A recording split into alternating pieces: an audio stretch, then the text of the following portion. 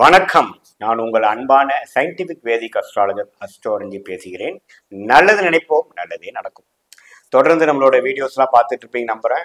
அறிவியல் சார்ந்த கருத்துக்களாக மூட நம்பிக்கைக்குள்ள போகாமல் எதையும் மிகைப்படுத்தாமல் உள்ளது உள்ளவாறு பார்த்துட்டு இருக்கோம். சயின்டிபிக் வேதிக் அஸ்ட்ராலஜி முறையில் பார்த்துட்டு இருக்கோம். அந்த அடிப்படையில் உங்களால் வெளிநாடு செல்ல முடியுமா? வெளிநாட்டில் சென்று செட்டில் ஆக முடியுமா? அப்படிங்கிறத நம்ம உங்களோட ஜாதகத்தில் எப்படி இருக்கிறத பொறுத்து நம்ம பார்க்கலாங்கிறது இந்த வீடியோவில் நம்ம பார்க்க போகிறோம்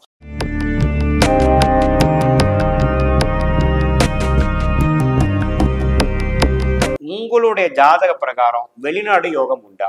அப்படி வெளிநாடு போறீங்கன்னா போயிட்டு ரெண்டு மூணு வருஷத்துல படிச்சுட்டோ அல்லது வேலை செஞ்சுட்டோ வந்துட போறீங்களா? அல்லது அங்க நீடிச்சு இருக்க போறீங்களா? அப்படிங்கிறது எப்படி நம்ம துல்லியமாக கணிக்க முடியும் அப்படிங்கறத பார்க்க போறோம். சயின்டிபிக் வேதிக் அஸ்ட்ராலஜி முறையில் கண்டிப்பாக சொல்லலாம்.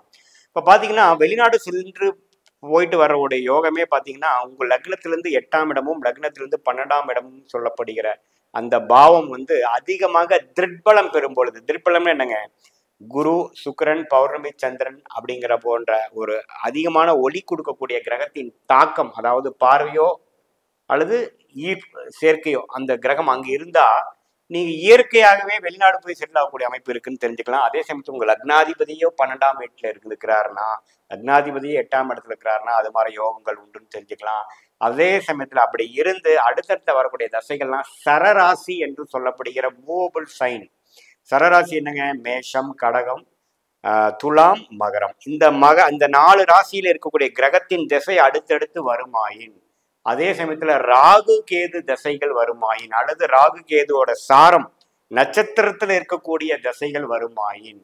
நீங்கள் வந்து வெளிநாடு போகக்கூடிய யோகம் இருக்குது அப்படின்னு தெரிஞ்சுக்கலாம். சரி வெளிநாடு போயிட்டு திரும்பி நீங்கள் வர போறீங்களா அங்கேயே இருக்கிறீங்களான்னு எப்படி தெரிஞ்சுக்கலாம் அப்படின்னு பார்த்தீங்கன்னா அடுத்த வரக்கூடிய திசைகள்லாம் அந்த சரராசியிலேயே வரக்கூடிய தசைகளாவே வெளிநாட்டிலேயே இருக்கக்கூடிய தசைகளாகவே ராகு கேது தசைகளாகவே ராகு கேது நட்சத்திரம் என்று சொல்லப்படுகிற திருவாதிரை சுவாதி சதயம் அல்லது மகம் அஸ்வினி மூலம் போன்ற நட்சத்திரத்தில் இருந்து அந்த கிரகங்கள் தசை நடக்கும் பொழுது அந்த ராகு கேது எட்டாம் இடம் என்று சொல்லப்படுகிற பன்னெண்டாம் இடம் என்று சொல்லப்படுகிற இடத்துல இருந்து தசை நடத்தும் பொழுது அத்தகைய பலன்கள் இருக்குது அப்படின்னு சொல்லலாம். சரி எப்போ நம்ம உள்நாட்டுக்கு திரும்பி வருவோம் அப்படிங்கிறப்போ எப்போ சரராசியில இல்லாத கிரகத்தின் தசை நடக்கும் போது எப்போ வந்து ராகு கேது இல்லாத தசைகள் நடக்கும் பொழுது அந்த எட்டு பன்னெண்டாம் இடம் சம்மதப்படாத தசைகள் நடக்கும் பொழுது நீங்க ஓரளவு ஒரு ஸ்டேஜுக்கு அப்புறம் நீங்க வந்துடுவீங்க அப்படின்னு நம்ம சொல்லலாம்.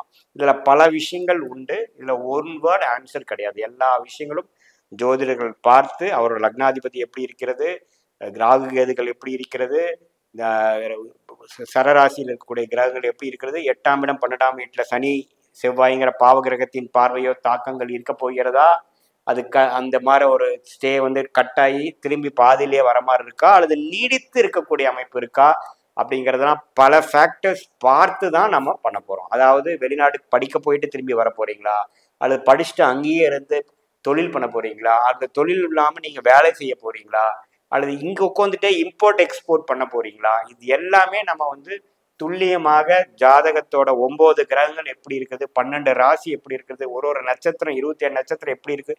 ஒரு ஒரு ஜாதகம் யுனிக்குங்க ஒருத்தரோட ஜாதகம் மாதிரி இன்னொரு ஜாதகம் இருக்க போகிறதில்ல இல்லை அதெல்லாம் எப்படி இருக்குன்னு துல்லியமாக கணித்து நம்ம கண்டிப்பாக ஒரு கிளாரிட்டி எடுக்கலாம். அதுக்கு தகுந்த மாதிரி நம்மளுடைய முடிவுகளும் நம்மளோட லைஃப் டெசிஷன்ஸும் நம்மளோட லைஃப் டைம் லைன்ஸும் நீங்கள் கண்டிப்பாக தெரிந்து அதன் மூலம் பலன் பெறலாம். மீண்டும் மற்றொரு காணொலியை சந்திப்போம். நன்றி வணக்கம்.